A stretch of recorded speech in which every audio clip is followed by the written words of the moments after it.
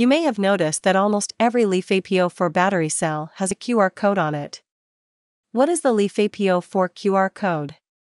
The QR code is generated by a combination of characters that represent information about the LFP battery cell. This is shown in the picture below, notice, where it is on the battery. Using QR code parsing software, you can do this with your phone's QR code parsing app. You will get this string of battery information. Some manufacturers will inscribe this string of characters next to the QR code. Let's take the QR code of ED3.2V280 LF280K as an example to explain the process of parsing the LiFePO4 battery cell information.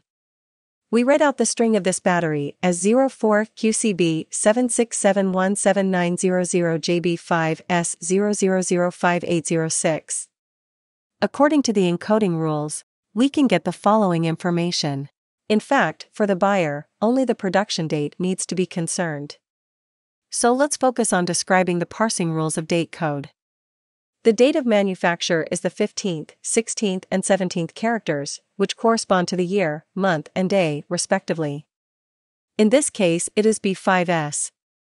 Year 1 to 9 represents 2011 to 2019, the next years are in alphabetical order A to Z, B represents 2002, B represents 2021. Month 1 to 9 represents January to September, A to C represents October to December. Day 1 to 9 for the 1st to the 9th, A to V for the 10th to the 31st. How to use QR code to avoid buying fake battery cells. Suggested steps 1. Ask the seller for a photo of the QR code of the battery cell before purchase.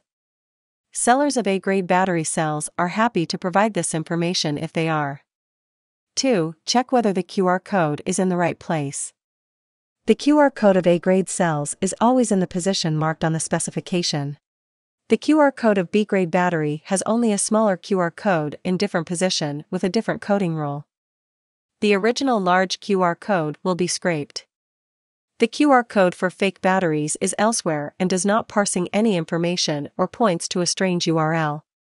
Some fake batteries have QR codes that are printed with white paint rather than laser engraved. In short, EEL Battery suggests the QR code for LiFePO4 battery cell is its identification,